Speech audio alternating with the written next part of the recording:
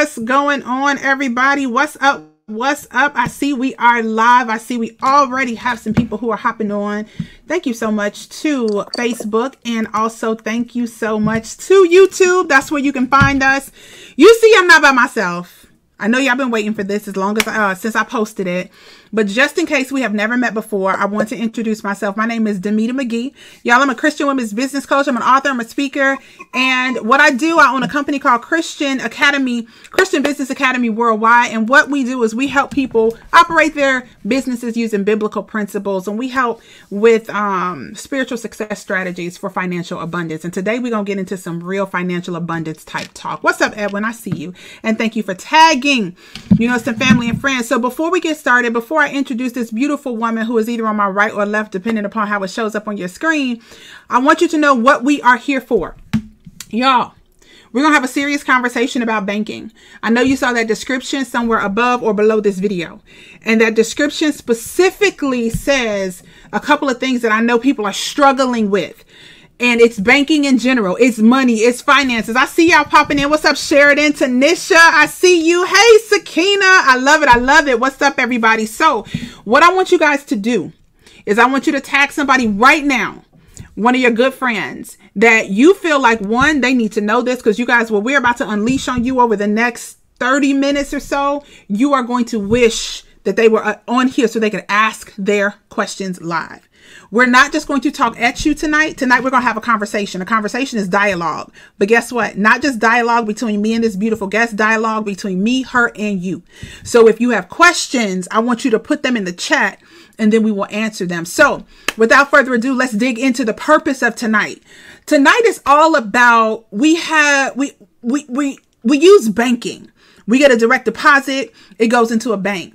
But you guys, what I did not realize, I know I struggled at one point with overdraft fees. You guys, I paid an overdraft fee of $25 for, it's so crazy, $27 for a $25 bill. So I basically paid over $50 for a bill because I had to pay the bank and pay the bill. I know I'm not the only one that had that challenge. But this is the thing that's crazy. There are people that are stuck in this cycle and you don't know that it's a cycle. So what I'm going to do is bring up our guest. I want her to introduce herself to you, but let me just do the honors first. I'm so grateful to be able to share this stage with her. You know how Sometimes you pray for the right connections. You pray for people in your network that make you better, but not just make you better. They come with a host of information that can even help your network. That's what this woman and who she is to me. We're not even in the same place. She's a beautiful Dominican American. Y'all see it already. Hailing from New York, but she's transplanted right now in Indianapolis. She is a leader among leaders. Y'all, she is a banking professional turned crypto enthusiast enthusiast. And what we want to talk about tonight is the experience that she has that's going to give us the dark side of the banking industry. Because what you didn't know is it's not just you struggling. And what you didn't also what you also didn't know is it wasn't by accident. So y'all, give it up in that chat. Welcome my friend, this amazing woman, the one and only Francis Rodriguez. What's up, love? How are you? Hey. Okay, so okay, can so can you guys hear me? Yes. Perfect. Perfect. Listen, y'all, give it up for Damita. She said something, she said something so, powerful. Sometimes, Sometimes we're praying for a network connection. And man, and man when God delivers, He's more than timely.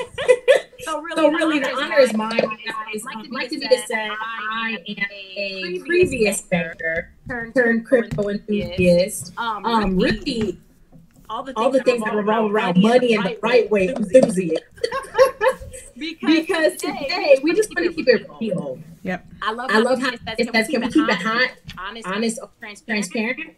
Because, because the, thing, thing is, I'm just, I'm just like, you on the other, on the other side, side of this conversation. I'm a mom. I'm a mom. My, little, my littles are two and seven, and I was I was taught a lot of the things that the average the average person was taught. So today, so today I just want to mystify some of that.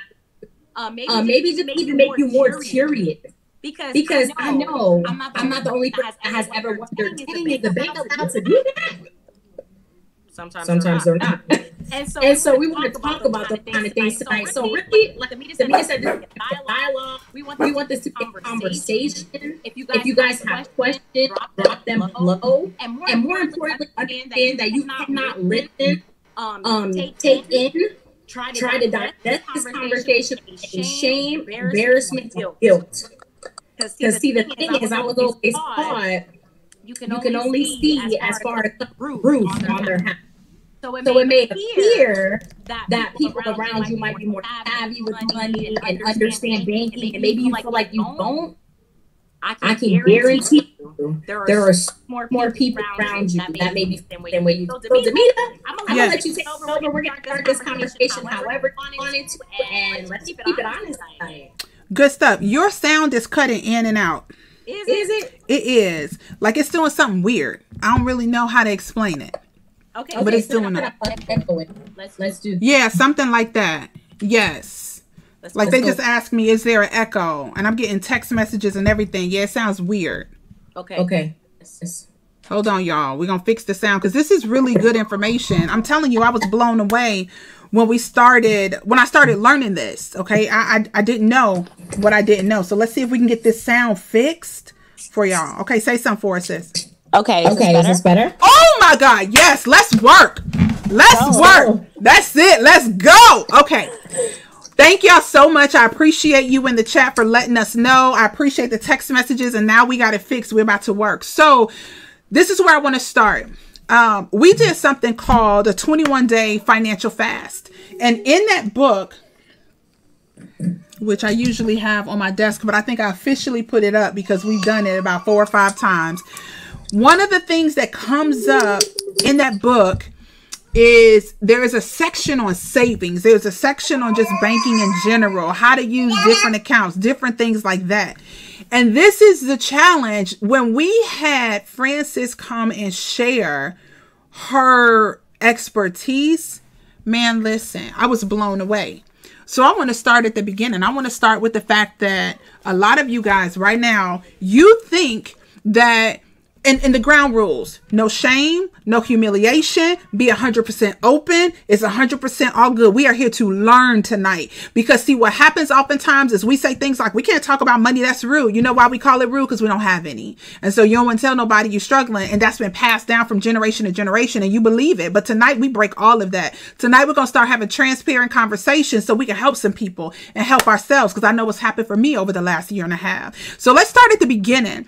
I want you to share share with us when it comes to like just traditional banking? What are some of the practices that people are they're predatory practices, but some people don't even realize they're being preyed upon?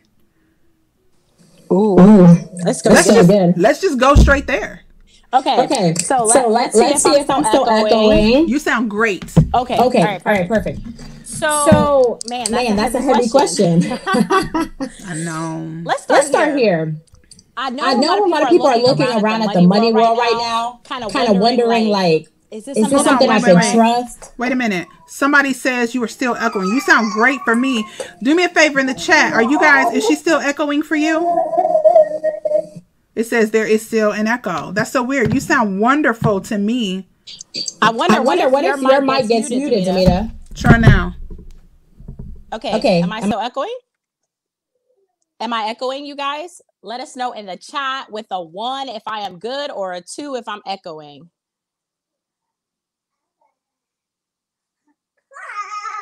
So, yes, still echoing, or yes, it's better? I will mute myself when she talks. There we go. Okay, that might be it. Okay.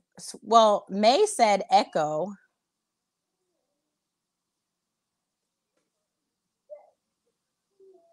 There's you a good. bit of a delay. We're better. There's a bit of a delay. So what happened okay. was we had to adjust for the delay. So I'm gonna mute myself. That's why I can't hear it. All right, go ahead. Okay, awesome. so we'll go with that. And when Damita comes up, I'll go on mute so that we're good. All right, you guys. So honestly, this uh, is one of my favorite questions because I know sometimes we look around at what's happening with our money world right now. And I'm a mom for real, y'all. That is my two year old in the background. So you may hear her. But I, I, know that we might look around right now and see all this new stuff when it comes to money, and we feel a little taken back. We kind of feel like, oh, is that something I can trust?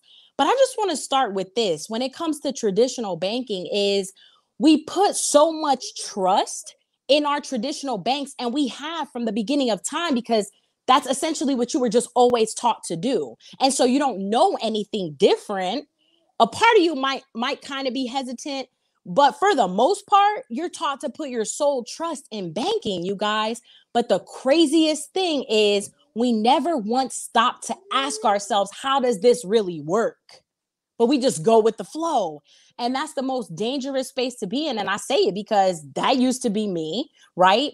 And and it still even was me when i first was working in my career in at the banks because they teach us to know money the way they need us to know money and so let's talk about what they do with the money if that's cool with y'all because see the primary thing yes we can argue that you know banks were created to to be convenient or whatever they want to say banks were created for. But understand that overall, and you can research all of this overall, banks were created for lending purposes. And I won't give y'all a whole lot on that because I want you guys to come back Wednesday. Some powerful conversation is going to be happening on the lending aspect, but I'm going to touch on it a little bit because it is the most important piece. Because what we don't understand is banks were created to lend money, right? Whether that's to lend money to us as an individual, right? The consumer, maybe it's to lend it to a business or some kind of other entity. But essentially, they were still put together to lend. And so maybe you're wondering, okay, well, where's this money coming from that they're going to be lending to people? Y'all, it's coming from you. It's coming from me. It's coming from Damita.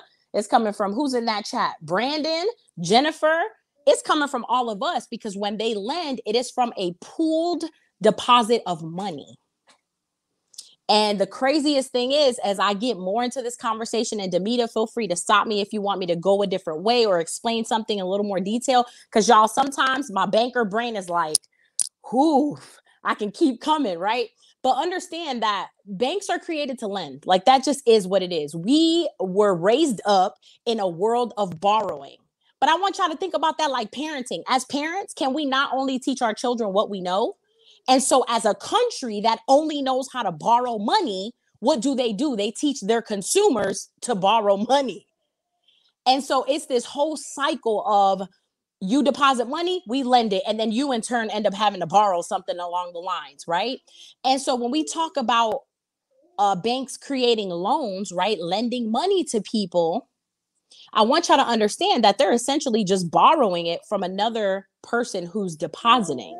That could be your neighbor from down the street. You never know it. And so that is what they're doing. It's our money that goes into a pool that they're lending out. Let's talk about other things that they're doing with money. They're trading it, y'all, in the largest markets of the world. Because what the banks are created to do by nature is use your money to make more money. But I want us to double back and think about it. Dang, we're not taught to do that. We're taught to go earn some money and give it to the bank to hold it so we could do what we need to do, aka, AKA bills, bills most of the time. Okay, hold on one second because I know you're gonna echo as soon as I unmute myself.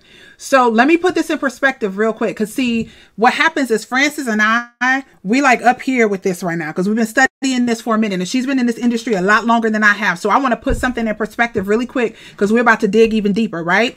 Sound still okay, y'all? Give me a yes if the sound is still okay. I'm just double checking it periodically as we go because I get text messages and things like that. So I'm gonna look for a yes in the chat on the sound question. And I know there's a little bit of a delay if you are watching live. If you're watching the replay, there absolutely is no delay. All right, cool. We're still good on sound. So I want to put this in perspective really quick. Let's talk about me. I realized that one of the things that my mother always told me was Damita save something. Like you got to just save something. And so what I would do was I would save something. It wouldn't be much, but I would save something. What we did not know what I was so unfamiliar with was that we needed to do more than just save something. And so what would happen is I would take a little bit of money, just a little bit, because I didn't know how much something was. I would take a little bit and I put it in the bank, just a little and put it in the bank. And I later learned that that's not what wealthier people were teaching their children. I didn't understand that. True story. Facts. I don't know about you. I didn't come from a wealthy family. All right. So when I read the book, Rich Dad Poor Dad, subtitle, What Rich People Teach Their Children That the Poor and the Middle Class Do Not, I knew they were learning something completely different on the other side of the tracks. Well, one of those things that I learned that they weren't taught was to save something, right? When I would put that something in the bank, what I didn't know was what Francis is talking about, how they were using that. See, one of the things that we got to understand from the very beginning is money is supposed to move. And so when you sit your money in a bank, guess what happens? You don't make anything on it. And so when I take a thousand dollars, because the average person doesn't have a thousand dollars in their bank account, when I take a thousand and I sit it in the bank, just our credit union, my husband and I, just our credit union, we actually get paid like one and a half percent. And I know that's like rich compared to a lot of banks. You don't get a percent, not one. But do you know what that means? That means that I could leave that $1,000 there all year just because my mom taught me to save something. And I would make a whopping, are you ready? $15 on it by the end of the year if I didn't move it and take anything out. $15. But what the bank has made on that money Oh my God. And that is what Francis is talking about. They trade it. First of all, if I put a thousand there, they can create an additional 9,000. That y'all comes from this, and things have changed and gotten a little bit worse. But there's this book. And the book, if you want to dig more into this, the book is called Creature from Jekyll Island. And I'm not going to lie to you, it's a heavy read. But if you want to get more into this, and understand that this is bigger, they make money difficult to understand because you won't take time to really educate yourself on it. And when you don't, guess what that means? They can make a lot more money off of you. So they create this additional $9,000. So they turn my 1,000 into 10,000, like magically poof, you know, Fugazi, Fugazi. Like, what does he say? it's a Fugazi. It's a Fugazi. Like, if you ever seen Wolf of Wall Street, like, what is real? What is real? It's not real. And they create this extra money and they make money off that extra money doing exactly what Francis says, lending it out in the form of what? Car loans, in the form of what? Mortgages, in the form of what? Fake PPP loans that some of y'all out here trying to qualify for, in the form of what? Small business loans, in the form of what? Credit cards, in the form of all these loans, home equity lines of credit. They lend out all this money. They charge interest on it. So they make money on money that did not even exist. And then on top of that, as Francis was saying, they put it in the foreign exchange market in Forex. And I earned $15 if I left it there for the year. That's what we want to educate y'all about. The fact that the bank is really making money hand over fist. But it's not just that. Most people don't have a thousand dollars in the bank, Francis. Not only do they not have a thousand, they got negative money in the bank. So now the question, how we get there? How we even get there? That's what I really want you to dig into because I know that's where people are struggling. Like they get their check, it's supposed to be there on Friday. They get it a few days early, it's already gone. Sis, I want you to really get into that. I, I, I hate that I interrupted you, so please pick up where you were. But I really want to get them into where a lot of people are struggling right now because we got to serve them where they are. Does that make sense? Yep, yep, we're good. So, eh, man, I love that because a lot of times, once you start to study something, it'll never look the same to you. So sometimes we're having a conversation, we have to double back, like, hold on, let me talk to the 2005 me real quick. But it makes so much sense, y'all, because I've been there. I've been that 18 year old broke college student with a gang of student loans trying to make it while working full time, going to college full time. I'm familiar with overdraft fees. Okay. So I, want to touch on one last thing in the lending sector, and then we're gonna move on from that because honestly, fees are are going to be really where the majority of people are getting caught up right? We know a lot of people the majority of people have debt that's not a question. But the fees is really how these cycles of needing to go find more money even start to happen. So maybe you listen to all that and you said well how okay if the bank is borrowing from my money when I deposit it. How is my money essentially in two places at one time? Great question. So if we can keep getting curious like that, we'll start to realize, man, there's a lot of stuff going on behind the scenes that I don't really know about. Because to Damita's point, go get that read. They even have um, an audio version on YouTube that you can go find I'll, try to drop it in this uh, in the chat here too, along with the book. Because if we start to ask ourselves questions like that, man, how can my money be in two places at one time? It, it can't physically, technically be, But see, when they have control of everything, the only thing I have to worry about is perception of us is our reality, right? And so we have to start getting curious because, yeah, no, your money shouldn't be in two places at one time. But when they have things like, oh, you only have to have this much on reserve to be able to do your everyday transactions at the bank, you're good. We got to follow news too, you guys, because now, like Damita said, rules have changed. They're allowed to essentially uh, double up on whatever you put in the bank. The dollar amount doesn't even matter. So, yes, you on the line with $50 to your name, they're growing your money too. And so if you're on here and you're like, man, this conversation might not be for me. I don't really have a lot of money. Congratulations. If you have at least a dollar in the bank, or if you're negative, this conversation definitely applies to you. So now let's talk about how do we even get stuck in this cycle of fees? Well, first we got to understand that the bank is making fees uh, a variety of different ways, right? So we got to think about this. They have requirements to abide by, right? Because we ain't gonna talk about the Federal Reserve on here today, but go look up who the Federal Reserve is. It's not a fancy building where all the money's at, like a lot of us think. It's a group. That's all I'm gonna say on here for lack of getting uh, any deeper into that rabbit hole.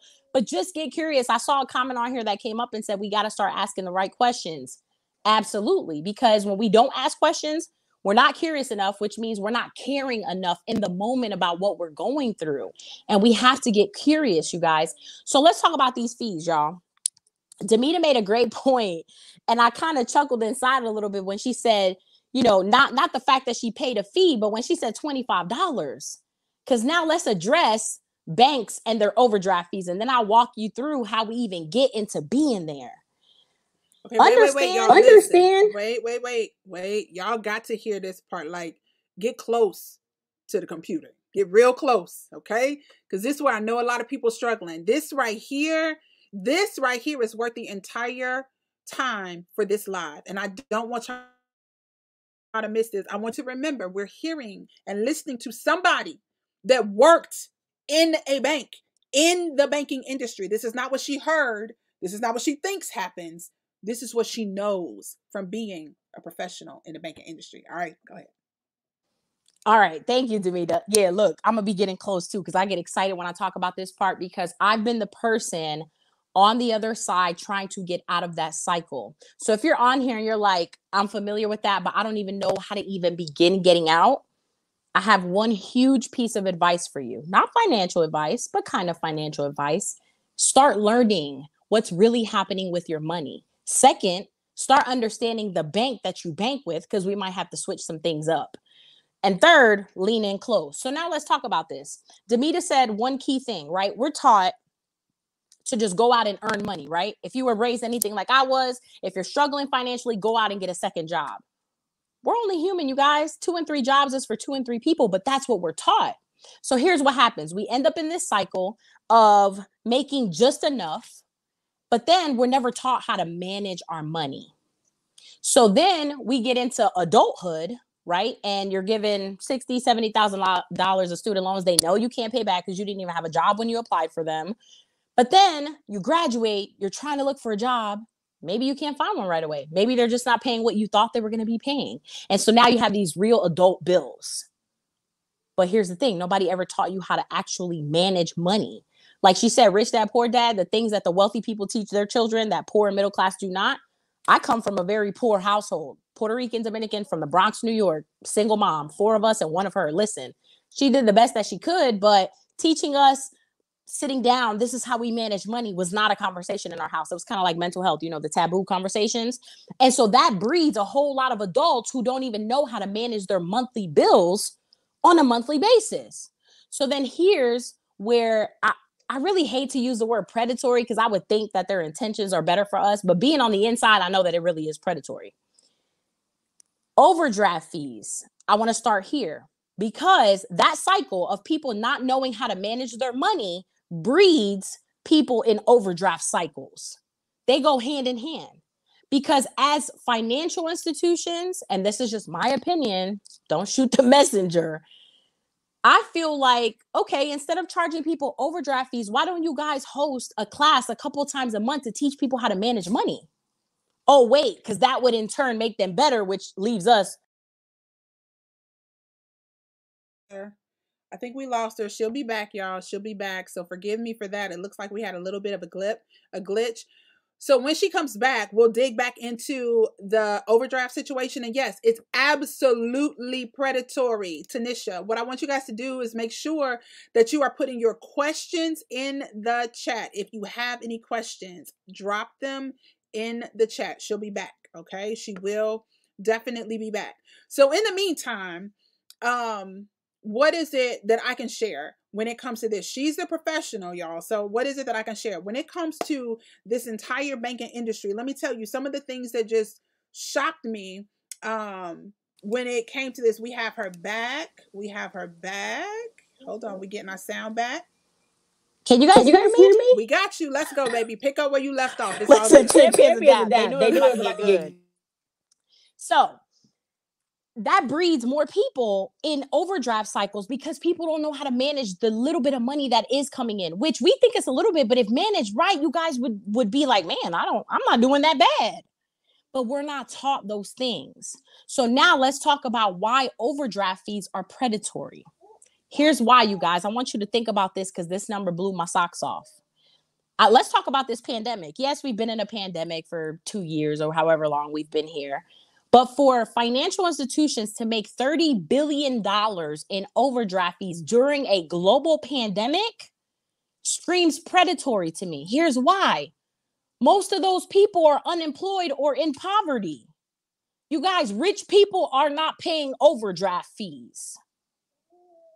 So now let's talk about where the practice comes in, where they want to keep people in cycles. And these are just things that I want you guys to start asking yourself like, man, has my bank done that to me? Write, Write it, down, down if, if, it resonates. resonates. Real quick. Let me make sure. Somebody says screen's frozen, but it looks like for everybody else we were doing okay. Y'all let us know. We still good? Yep, it looks like we're good. I want to make sure. Y'all hear that part that she said? Rich people are not paying overdraft fees. Y'all hear that? That resonated with me. All right, I think we're good. Keep going. Okay, awesome. They're not. That's just the truth. Why? Because they're taught how to manage their money. And so uh, if you hear any of these things in relation to overdraft fees and maybe they resonate for you, write it down because this is then your homework to go say, I got some questions. Y'all start asking the bank some questions. Sometimes they're not going to have an answer and then they have to make it right. That that's just the crazy banking world we live in. And, and so, when we, we talk, talk, about, about fees, fees, are we, are we good? good? We are good. I was going to start with a question that I asked oh, yeah. that I think would actually make this so crazy. Mm-hmm. You guys, so um this is so interesting. I had this conversation with Francis last week. I called my bank, the bank that I use specifically for business. I called them and said, "Listen, I don't want anything to go through if I make any errors.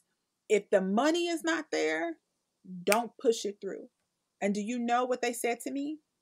I said, Can you remove this from my account where it will not go through? I don't want to make any errors. They told me they could not do that. They so the, I'm when we start asking questions, they literally responded to me and said, Nope. If you requested, if it's a certain amount, it's going through. So they can hit you with that overdraft fee. So those are some of the questions we need to start asking our bank. So I wanted to start with a real life situation, a real life scenario. Okay, go ahead, sis. Yes. Mm-hmm. And feel free if you guys have had a scenario that you're like, what is this? Drop it in there because even if we can't get to it on here live, I'll get to you in the comments. I get really passionate about this, y'all, because I've been the person in the cycle working for the bank, realizing, oh, hold up, something's wrong. So, Damita's example, you guys, by law, every financial institution has to ask you do you want your account to be opted in or opted out for overdraft fees. You have the right to choose.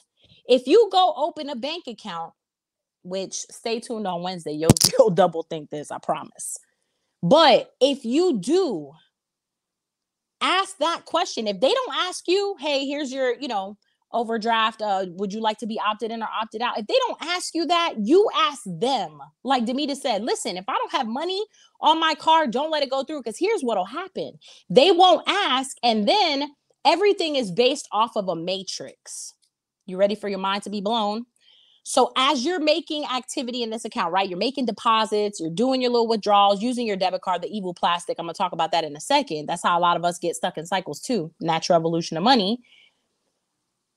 Understand that this goes off of what they call a matrix. That it just basically means an average, right? Let, let's use basic language. An average, the median. Okay, so if on average my account's bringing in, let's say, two to three thousand dollars monthly well, this automated matrix, if you will, that's calculating and watching, really, it's just an algorithm, y'all. It's paying attention to my activity, like Facebook. But it's calculating what is this average? Okay, well, if I average bringing the bank two to three thousand dollars they're using on the back end every month, well, then hey, we can let her overdraw up to two thousand dollars a month. This is where the cycles start. Because if you're an average person who, again, Damita said this at the beginning, over 70% of people do not have a thousand dollars in a savings account. So that makes most people the average person. Nothing wrong with it, but it's the truth. So what they don't tell you is, hey, if you already don't know how to manage your money, but we have this automatic calculation on your account, you could go to CVS the day before your payday you only have $2 left in your account. But if you use it for $4 because you're human and, and they don't factor in human error, you forget you swipe that card now. Some banks have made it to where there's no, hey, if you overdraw uh, under this amount, we won't charge you a fee. It used to be like that back in the day. It's not anymore. You could literally be overdrawn by $3 right now. They're going to charge you. Most places are a $37 fee. 3750. Damita said 25. Here's why. That's a credit union. Let me break down fees and why this is also important and why you need to start asking your bank questions. Here's why. You got to think about this, y'all. Banks that have brick and mortar locations are going to charge you more fees. Here's why. We have salaries to pay. We have electricity to keep on and we have to pay for material that we use on a daily basis aka deposit slips keeping the vault open you know paying for Brink's to come out to deliver money there are expenses which is why chase is going to charge you $37 but around the way credit union might charge you 22 or 25 but you multiply that by hundreds and thousands of people yeah they're covering a lot of their costs so we got to understand this is a money game, y'all. For them, it might not be for you because sadly you're the victim on the other end. You didn't know any better when it started, but now you're stuck and you don't really know which way to go. So, one thing that I want to point out is maybe you're on here, maybe overdraft fees is not your problem. You guys, there's ATM fees, there's fees for misusing a credit card oh, wow, you didn't even teach people how to use this in the first place. That's pretty predatory to me. you see somebody is brand new opening a credit card and you don't explain to them how to use it. Like, yeah, I understand some of that should come from family and whatever the case is, but then you wonder why you have people that are in these constant cycles but then you start implementing more predatory. I see the fees. Wells Fargo, $35. Yes, they have brick and mortars. And then 37. And then you wonder why the banks like your online banks like Chime could do things like, hey, you can overdraft up to $60 and we'll charge you no fees. Oh, because we don't have buildings to upkeep. We don't really have that many salaries to pay for. Everything you do is on a mobile app. You guys, this is a natural evolution of money. And so when you don't start asking these questions, they throw you from, hey, keep track of your transactions yourself to, whoa, hey, you got this debit card. Now it got a chip in it. Insert it wherever you go. But the whole time, what happens to what happened to the mandatory balance for the account? Uh, can you elaborate on that question? Um, while he's so, elaborating, can I give you a real life example? I know I had oh, shared, yeah. shared this. Jean Christophe said for him, it's actually a $35 fee. That's amazing. Okay, so real life example. Thank you. April said this is excellent information. Thank you, April. Real life example a friend of mine, she was saying that she thinks she scarred her daughter for life because at one point she went to the bank to withdraw money from the bank and knew that her um knew that her check had gotten deposited because she had direct deposit. And somehow, when she went to withdraw money from the bank, she was in the negative and she could not figure out how are how am I in the negative when I just got paid. What ended up happening, and I definitely I know some people can relate. I remember being at a bank that I after I never banked with them before when they double charged me. I was like, never, because I know this makes sense. And so I remember, well, I'll use her example because it's actually a lot more dramatic. Her car note came out somehow or another. I don't remember the details. Her car note hit her account twice. It was removed the second time, but by the time it hit that second, but by the time they removed it, she had other bills that came out. Those other bills that hit her account because her account went negative when her car note hit the second time, they charged overdraft fees on all of those, but then took the cardinal out the second payment, but she was still in the negative from when it happened and they did not fix it. I don't know if she knew or I don't know if she tried to get them to fix it. I'm not sure. But I know when something similar happened to me, I talked to the branch manager. This was years ago, by the way, for me. I talked to the branch manager. I had so many. Con- I literally was like, okay, so you're trying to tell me that when this account hit this the second time, it put my account in the negative. And so these next three charges, I got overdraft fees on them, but I really don't have an overdraft because this shouldn't have hit my account the second time. And then I was like, I can't talk to you. I need to talk to the branch manager. I had a conversation with the branch manager. They still didn't change it. Now, this was probably, I don't know, 10, 12 years ago. But there are people who are still struggling with this very same thing. And it makes, and that's how people get stuck in that cycle. Real life example. Man. Okay, so that is so good because people are still struggling with that. And here's why a lot of times I feel so bad for the personal bankers that you walk in and go talk to because really, y'all, their hands are tied in that computer. After a certain amount, they can't do anything at the branch. And I know because I've been a retail banker before. I've been the person behind the teller line at the desk in the office. And a lot of times this this is that whole matrix system system automated business, okay? Because it's a business. Let's call it what it is. That their hands are really tied and so I told Damita, like for her example, you guys, almost every single US, I can't tell you about overseas, every bank is going to operate different. But for the most part, in the US, every financial institution is doing one waived fee at least every 12 rolling months. So that whole we can't, first of all, they can give the feedback. Second of all, I do by law have a choice whether or not I want you to process transactions for money that I may not have in my account at the moment you decide to process them. And so that issue right there has been an issue for decades. This whole you post things to people's account in the order that it didn't happen. That's been a big issue, which is why potentially her daughter was kind of like, hold up, other bills were supposed to come out, but before this second payment might have came out. But here's the thing, you guys, they don't take the time to educate people. That whole opt-in, opt-out situation, as light as it seems, y'all need to pay attention because now what banks have done is they've split them up. What they don't tell you is in that fine print. Now it says, hey, do you want to opt in and out from your debit card? Only, right? Like when I use my card if I don't have enough.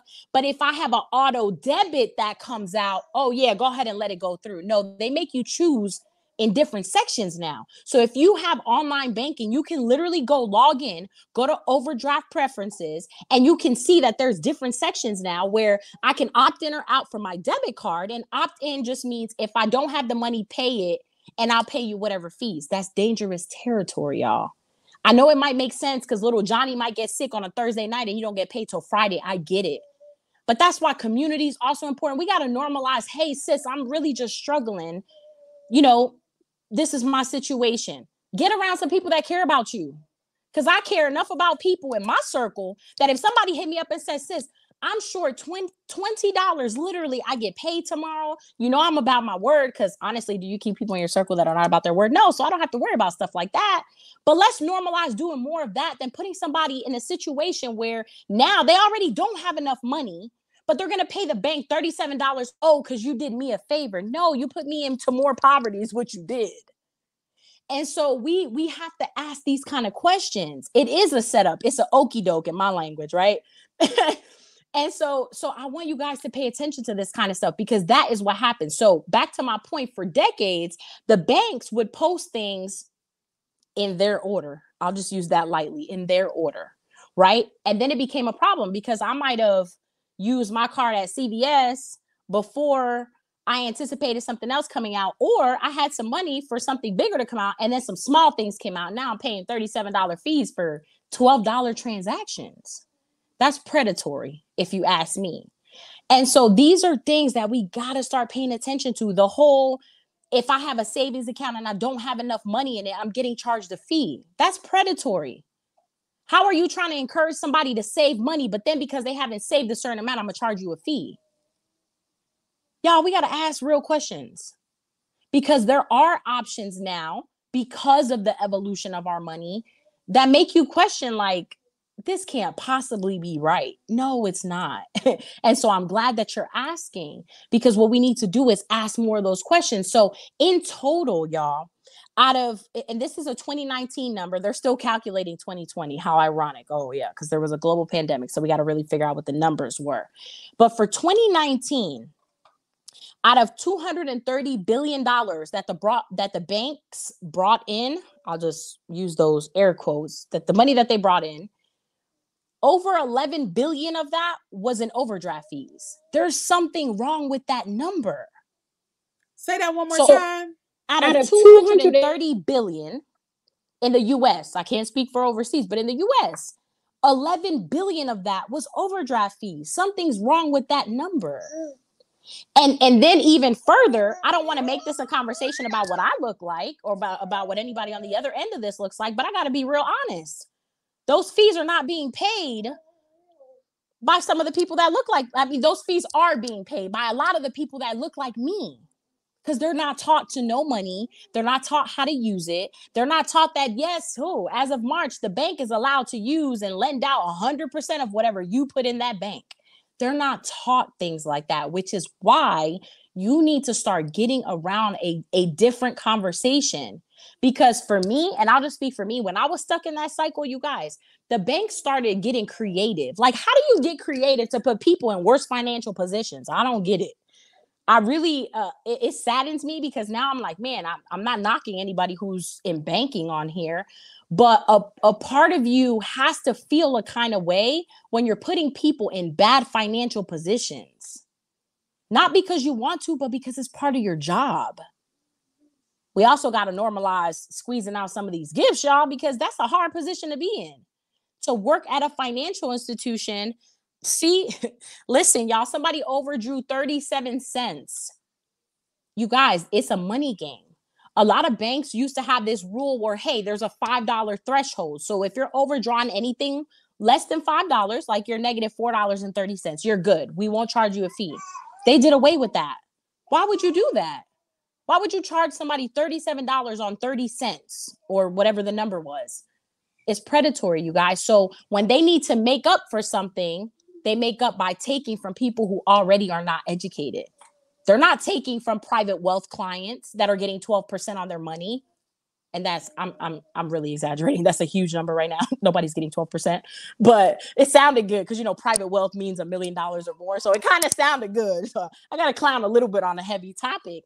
But seriously, you guys, we we gotta ask these questions. And and it just it saddens me because I've been the person on the other side of that. And then being stuck in a cycle, they just try to get creative with trying to get you out the cycle, but really they just put you in another one. So some banks have even done things like, hey, We'll give you an advance on your direct deposit. You can get it two to three days before you even get paid. That's a okey doke too. You want to know why? Because we're sold the topic of, oh, banking is convenient. Let me make your life so financially convenient. When really that's the setup. Because you're targeting people. Think about this. If somebody's wealthy and in a decent financial position, do you think they care if they get access to their direct deposit three days before it hits their account? No, they don't care. They're going to access it when it's there. But somebody who's in poverty, living paycheck to Monday, like one of our mentors says, or paycheck to paycheck, they care if they can access that money two to three days in advance because it matters to them. But you already are targeting someone who already doesn't know about how to manage the money they are already making. That's predatory to me. Somebody might have a different opinion, but that's predatory. You're targeting someone who already doesn't know how to wait till Friday to be able to handle their their livelihood y'all that's that's not it might sound, it might sound convenient, but it's not, but it's not. I, I think it's really important to point out here that um it's really important to understand that if you use banking like if you just I don't I almost don't want to say the right way cuz yeah. But if you use it the right way, the right way by meaning you get your check deposited, you pay your bills, you don't over you don't overdraw, you only use what you have. The bank can't they, they can't charge you these exorbitant fees which there are people right now there are some of you guys that are watching right now and you don't even qualify for a credit card and so you think that you're not paying any interest can i tell you that the interest that you're paying is hey technology what can you say? So you feel like you can't even qualify for a credit card. There's some of you guys that cannot qualify for a credit card and if you could the interest would be like 26% on a credit card. But do you realize that the, the amount of interest that you're paying is just not called interest it's called fees? There are fees. There are three money out of ATM because ATM at your bank. That's up uh, substantially and significantly. So we use, um, we're introduced completely different ways to actually use baking that is revolutionary. But the first thing that we want you to understand is that the way baking today is broken. It's completely broken. And so I just really want to share that piece just a little bit because the interest, it's there there. You may not qualify for a credit card, but they getting it from you. They getting it. We got a little bit more time left. And I know we went fast, y'all. This hour went quick. It went really, really fast. Please, what is something that you would like for us to know before we have to close and get out of here? What do you what do you want us to sh- want to share? Um, honestly, don't uh just don't be afraid to ask for help, y'all. Like I know sometimes it seems like, man, I'm so far into whatever the situation is. But like Damita said, you're already paying interest. They're just calling it something different. And so we have to normalize going into conversations and into rooms and saying, I don't really know a lot about this, but I know that the way I'm currently doing it is not working for me. And for me, you guys, that was the honest conversation that I had to have at 19 years old. Like, the way I'm doing money is not working for me. If it worked for me, I wouldn't have to be hoping that on Thursday I have enough gas to make it to, to the gas station Friday morning. You know, when you driving there on the Lord's Prayer, like, and you pull up at the pump and you you put it in park, but you're wondering, like, dang, was that did I put it in park or did it cut off? Because there might not be gas in here. I remember those days, but it took for me to sit with people that I worked with at the time for them to break down, like, okay, I was a college student before. I also didn't know about money. And now that I've learned something, here's a couple nuggets. And, and so be okay with saying, I don't really know that part of the conversation. Or I think I know some of the conversation, but it's not working. Because eh, the way you know it's not working is if any part of this conversation kind of felt uncomfortable. Maybe you felt like, dang, that's me, or that was me, or that's kind of still me, or that's me, but in a different version. Any kind of version of that, then there's part of this conversation that that maybe you could get better at. And so just normalize that. Being okay saying, hey, listen, I don't really understand part of this conversation, but I'm willing to stay around it because the way I'm doing money is just not working. And for a long time, you guys, the way I did money wasn't working. I wasn't taught how to do money the right way. And then, you know, so as you go learning, you'll be like, okay, it's going to take you getting uncomfortable, but I have a better question for you. Would you rather stay in the comfort of you're paying everyone else the money you work so hard for, or is it time to get a little uncomfortable and and be okay with changing some habits up so that you can get to decide what you do with the majority if not all of your money because you should. You should be the steward of whatever you work for, your business brings in, however you're earning money, producing income. You should dictate where all that money goes. Not, hey, it's hitting the bank on Friday, but you know, 30% of that might be going into a negative balance or automatically transferred back to a credit card because they have my credit card hooked up to my checking account as overdraft protection. I mean, there are things that we have to just start asking more about. So if I could give you one nugget, y'all, it's just normalize asking questions. You heard something on here that you really didn't understand, but you know it's part of your situation. You guys, I'm an open book. I feel like part of the reason I spent 13 years in in financial services in general was one for me to learn. I got to be honest, I'm not an exception to the rules here. I had a lot to learn. I'm still learning a lot. But I was okay with asking those people questions like, what does that mean? What does this mean? Okay, that's not my situation, but I want that to be my situation. And so, if there was something that you heard on here, you guys get back with the person that shared this live with you, tagged you, and let them know they can put us in a Facebook message. I have no problem answering questions for you because while I'm not here to give you financial advice, I do want to see you doing better financially. And so, Damita, if you, if have, you any have any other questions, anybody, in the, anybody in the chat, I can't see the chat. So if they have, so questions, if they have questions, I'm happy, I'm happy to answer. I would love if they could ask questions, but I we are out of time because okay, in five okay. minutes I gotta open up a Zoom. However, what I do want to do is this, y'all. We can continue this conversation. Um, I don't know. Maybe we'll be able to get Francis back because there's so much more into this whole banking thing that we did not even get to touch on today. So we talked about possibly doing some type of limited series. But this is what I want to also share if I could leave. I may not be the banking professional, but let me tell you what I am. I am a I've been in all kinds of bad money situations professional. All right. So what my I, I, like to be transparent because I know in transparency and in being authentic, my true self and sharing my truth and my story, it helps somebody because there are other people who things look similar. My husband and I together, y'all, we did earn six figures in our household but you could not tell by our bank account. Tell me how do you have, and we didn't have a six figure lifestyle. I can tell you that much, right? What in the world was happening? So, this is the reason that I want to point this out. There is a way that money works. Money is a horrible master, but it's a real good servant. And so the question is, how do I get money to serve me instead of me listening to my money just going all over the place. See, when you don't know where your money is going, your money is your master and you don't realize it. It's working you because you have no clue where it's going. It's going in your wallet and right out, in your account and right out. And because, as Francis said, that debit card, it takes away that feel of money.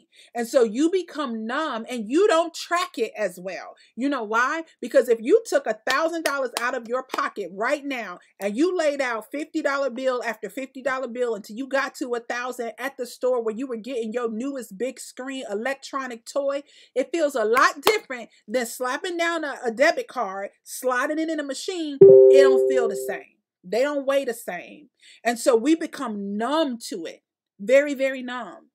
And so I just want to encourage you on Wednesday, we're furthering this conversation. We are not done because we don't just come to you with problems, we come to you with solutions. A lot of us have done something which sounds fancy. It sounds it's called being unbanked. What does that even mean? I understand it's confusing. What if you could BYOB, be your own bank? You can. You can.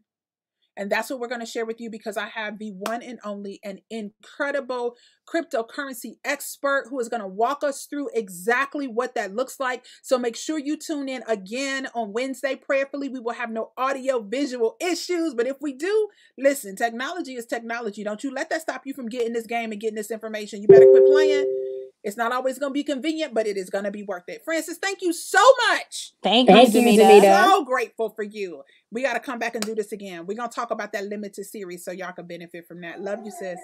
Good thank night, you. Good night, y'all.